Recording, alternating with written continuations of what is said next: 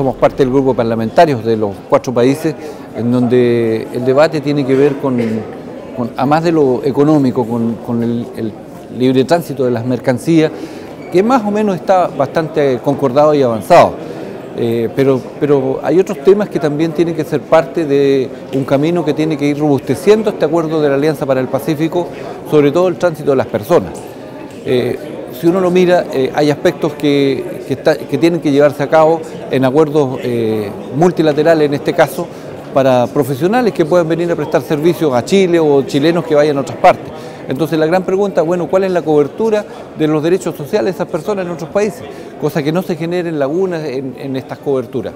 Y por tanto tenemos que homologar esos sistemas entre los países. Segundo, la transferencia de conocimientos, de experiencia para la innovación tecnológica. Nuestros países son países que eh, fundamentalmente sus economías están basadas en las exportaciones de productos básicos, es decir, todo lo que son mineros o, de la agricultura. Y por lo tanto tenemos que abordar este desafío de la innovación tecnológica para eh, la generación de nuevos empleos. Pero eso seguramente nos va a llevar a otra cosa, a todo lo que es la automatización del empleo. Y allí también tendremos que tener una condición especial para que nuestras legislaturas den cobertura sociales aquellos momentos en donde trabajadores de los diferentes países van a tener que abordar o someterse a los rigores de esta automatización. Los que salen del sistema, pero al mismo tiempo los que entran. Y por lo tanto, allí también tendrá que haber una homologación del conocimiento. Y finalmente, abrir un capítulo, decimos nosotros, que tiene que ver con eh, todo lo que es el aspecto colaborativo en materias de seguridad que eh, son eh, dables pensar para la protección de los países. Por tanto, tendremos un amplio campo de trabajo y una agenda que puede ser virtuosa a partir de los cuatro países, pero también la expectativa de que esto crezca para aumentar todo lo que es la transferencia de conocimiento, todo lo que es las transferencias económicas, para hacer un, proceso integral en esta Alianza del Pacífico.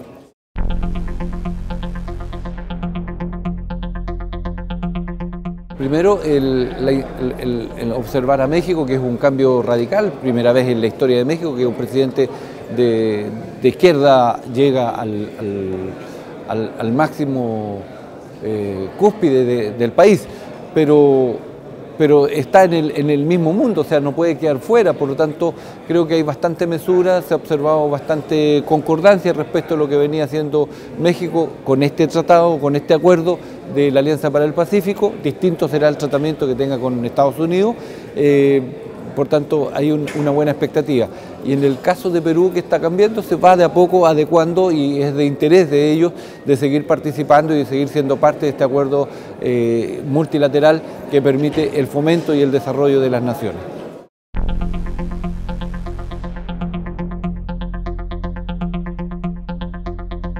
el ampliar el, arco de alianzas con esos países es eh, interesante.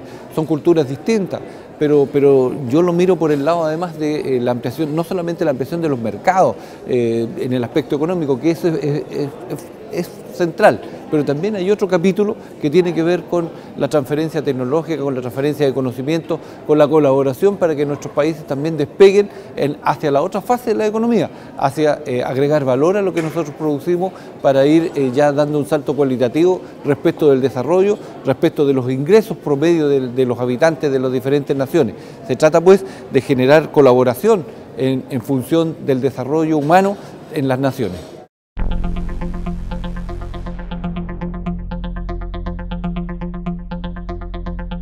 Uno tiene que ir al origen de estos acuerdos. Estos se hacen esencialmente en democracia. Todos los estados están bajo el Estado de Derecho democrático y por lo tanto es fundamental la valoración de la democracia, la, valoración de lo que los pueblos libremente deciden.